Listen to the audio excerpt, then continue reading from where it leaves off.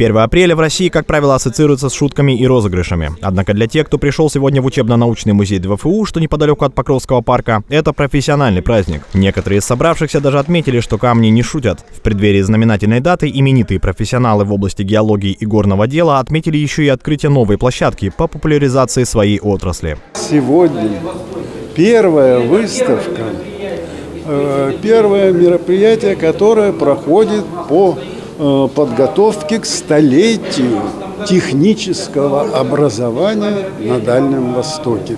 Дань памяти и уважения дальневосточным технарям пришли отдавать не только преподаватели и практикующие специалисты, но и студенты, причем как первокурсники, так и почти готовые специалисты. Само мероприятие состояло из двух блоков. На втором этаже выставка, посвященная горному делу. Это средства связи, экипировка и, конечно, история горного дела в лицах. Чтобы больше людей э, охватить, показать историю э, месторождения через людей. На открытии многие именитые специалисты отрасли поделились с подрастающим поколением геологов, археологов и добытчиков своими надеждами и пожелали удачи в освоении непростого, но такого важного горного дела. Этажом выше самое интересное – геолого-минералогический музей. Здесь хранятся находки со всего Приморья, всех возможных пород, осадочных, метаморфических и многих других. Некоторым экспонатам не менее чем полтора миллиарда лет. Поскольку наша территория уникальна, многообразна, шикарна по геологии и минералогии, поэтому ну, зачем нам золото из э, ЮАР или малахит из Урала. У нас есть свое.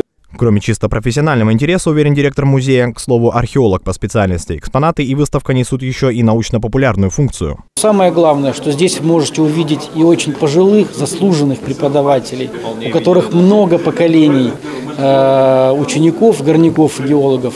И самое главное для нас, можете увидеть первокурсников, второкурсников, э, будущих геологов, будущих горняков – и я думаю, что и выставка, и музей будут сплачивать эти два поколения. Организаторы отмечают, что выставка и музей полностью открыты для посещений. В будущем планируется вести плотную работу со школами и дошкольными учреждениями. Оттуда будут приходить группы заинтересованных в знаниях ребят. Кроме того, геологи предусматривают возможность открытия своеобразной школы юного горняка. Нечто наподобие кружка, где дети смогут освоить азы этой непростой специальности и, быть может, влюбиться в камень. Евгений Черемухин, Сергей Тулатиев. Новости на восьмом.